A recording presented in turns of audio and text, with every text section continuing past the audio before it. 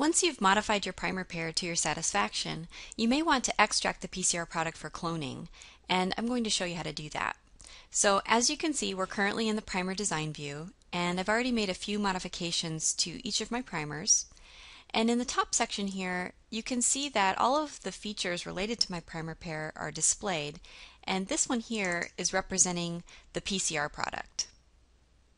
So all I need to do from this point is select Priming, create insert by PCR, and what SeqBuilder will do is extract the sequence of the PCR product and simulate its amplification with Taq polymerase, including the addition of the 3' A overhangs to each end. So I'm going to go ahead and click on Create Insert by PCR. And here's my new cloning project that's been created. And you can see that my new Taq amplified insert is already displayed for me within the Inserts folder. So now I can proceed with creating my virtual clones by selecting Cloning, TA Cloning Advisor. And notice that the insert we just created is already selected for me in the Insert field. So all I need to do is select my linearized T vector from the list provided, and then click on Clone.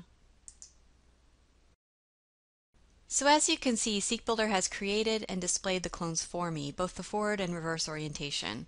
Let's take a look at the forward clone.